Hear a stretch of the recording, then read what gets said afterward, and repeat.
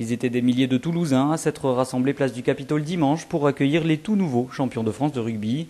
En effet, après la Coupe d'Europe l'an passé, c'est au tour du bouclier de Brennus de se présenter devant les supporters. Un bouclier acquis dans la douleur, comme nous le confie Jean Bouillou, troisième lignel du Stade toulousain. C'est vrai que c'est un match stressant, c'était angoissant en fait, euh, de dominer, de ne pas marquer. D'autant plus qu'eux, avec une seule occasion, on marquait un essai, donc c'était ça qui était. Euh, on avait du mal à, on avait du mal à, faire notre jeu, quoi, à marquer des points. Donc c'était un match très stressant. Si on s'était énervé, je pense qu'on aurait perdu le match. Donc on ne s'est jamais, jamais énervé. Euh, et, je pense que c'est une des clés aussi qui fait qu'on est revenu au score. Présent samedi, place des Illustres, pour accueillir les Rouges et Noirs, le maire de Toulouse, Pierre Cohen, affiche son attachement à ce bouclier.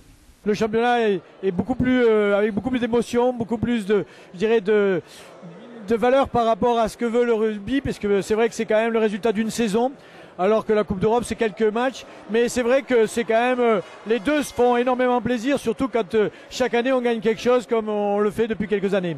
Une victoire en championnat en 2008, une victoire en Coupe d'Europe l'an passé et aujourd'hui à nouveau le championnat. Une collection de titres qui n'empêche pas Yannick Bru, entraîneur des avants, de trouver cette victoire un peu particulière.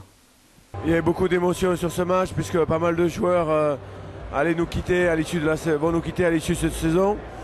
Donc on avait envie de terminer sur une note positive. En plus, le scénario du match a fait qu'il y a eu énormément de suspense parce que il n'y a pas grand chose qui tournait rond pour nous pendant les deux tiers du match. Donc euh, voilà, on est, doublement heureux, mais on est, aussi bien épuisé parce que cette finale a été riche en stress. Reste maintenant aux Toulousains à profiter de leurs vacances. Pour la saison prochaine, 8 joueurs quittent le club pour 4 recrues. Mais pas d'inquiétude pour les supporters. Selon René Bouscatel, président du Stade toulousain, c'est loin d'être la fin d'un cycle. Il n'y a pas de fin de cycle chez nous parce qu'un groupe c'est 35 joueurs environ, hein, plus un staff.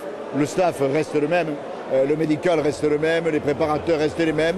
Il y a 7 euh, à 8 joueurs euh, qui changent sur un effectif de 35 c'est un renouvellement, mais, mais ce n'est pas un bouleversement.